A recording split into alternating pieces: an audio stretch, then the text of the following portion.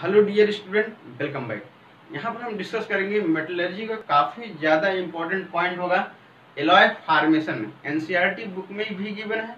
NCERT book में सिर्फ़ तीन से चार एग्ज़ाम्पल गिवन है, लेकिन हम आपको छः से सात एग्ज़ाम्पल कई सारा एग्ज़ाम्पल बता रहे हैं, क्योंकि कारण है, आपके एग्ज़ाम में पूछे गए हैं।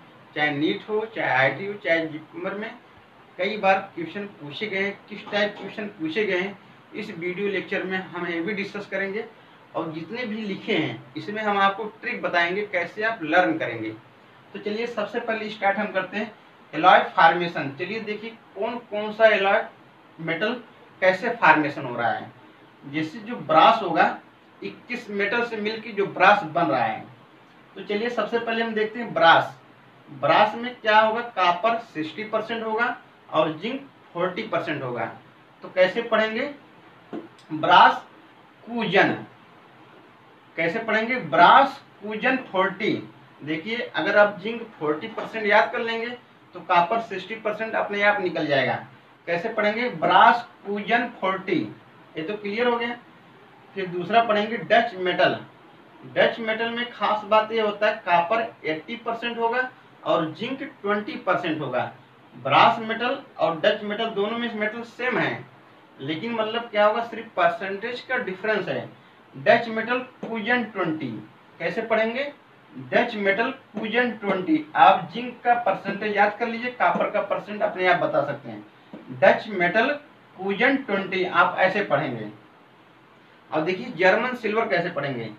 जर्मन सिल्वर कापर और प्लस जिंक का plus plus nickel NCERT book में आपकी गिवन है।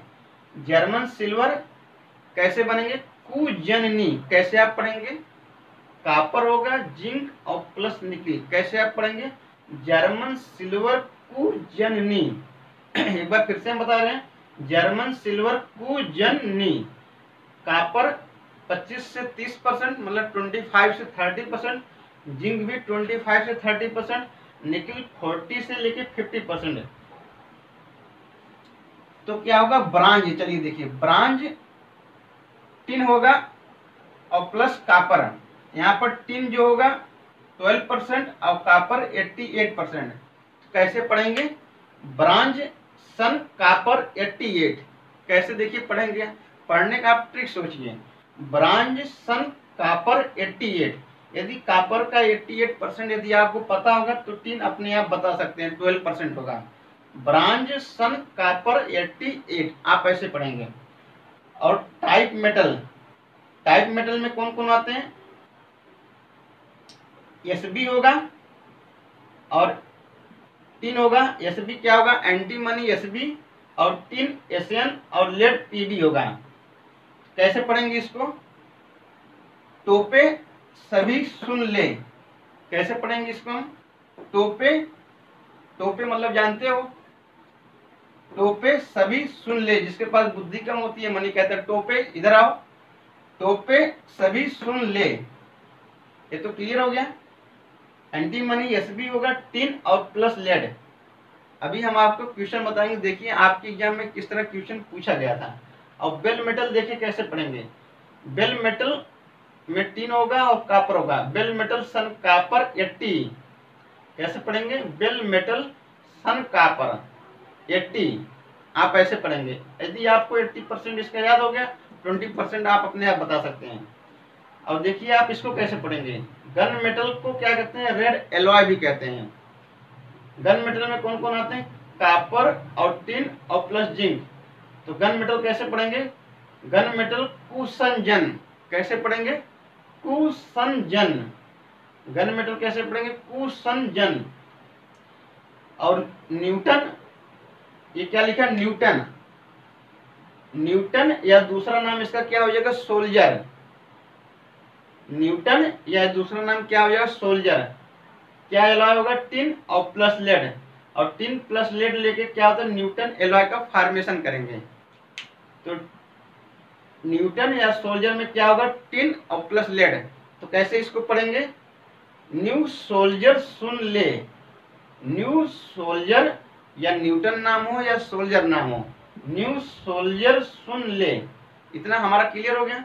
तो चलिए आपके एग्ज़ाम में देखिए कैसे क्वेश्चन पूछे गए हैं। एक बार हम आपको बताते हैं पहले। देखिए यहाँ पर ब्रास लिखा है, इसको हम स्टार बनाते हैं। ब्रास लिखा है, और यहाँ पर ब्रांज लिखा है, और यहाँ पर जर्मन सिल्वर लिखा है। पहले एक एक क्वेश्चन इस टाइप बना था ब्रांज और ब्रांज ब्रास ब्रांज और bell metal brass bronze bell metal सभी में देखिए, एक मेटल ऐसा होगा जो सभी में पाया जा रहा होगा। कौन सा मेटल है? कापर यहाँ से देखिए ब्रास होगा, इसमें भी कापर पाया जा रहा है। और ब्रांज इसमें भी कापर पाया जा रहा है। और क्या होगा? बेल मेटल इसमें भी कापर पाया जा रहा है। आपके क्वेश्चन में एक बार ऐसे बना था कि ब्रांस ब्रांज और बेल मेटल कौन सा ऐसा मेटल होगा जो सभी में कॉमन होगा? आपका आंसर होगा कापर कापर सभी में पाया, इसमें भी कापर पाया जा रहा है। इसमें भी कापर पाया जा रहा है और इसमें भी कापर पाया जा रहा है। एक क्वेश्चन ऐसे बन सकता है।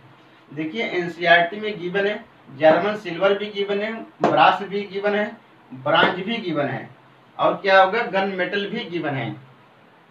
काफ़ी ज़्यादा इम्पोर्टेंट है, जो आपके एनसीईआरटी बुक में भी गिवन है और कई बार एग्ज़ाम्पल भी बताए, आए हुए हैं। इसलिए हमने मेन मेन एलवाई आपको डिस्कस किए हैं। यही इतना आप एलवाई पढ़ लेंगे जो आपके नीट के लिए सफिशियंट है। और सारे भी एलवाई हैं, लेकिन मैं इतना कहता हूँ, यही एलॉय आपके लिए काफ़ी ज़्यादा सफिशियंट है। यही एलॉय पढ़ेंगे और भी हम आपको बताएँगे नेक्स्ट वीडियो में।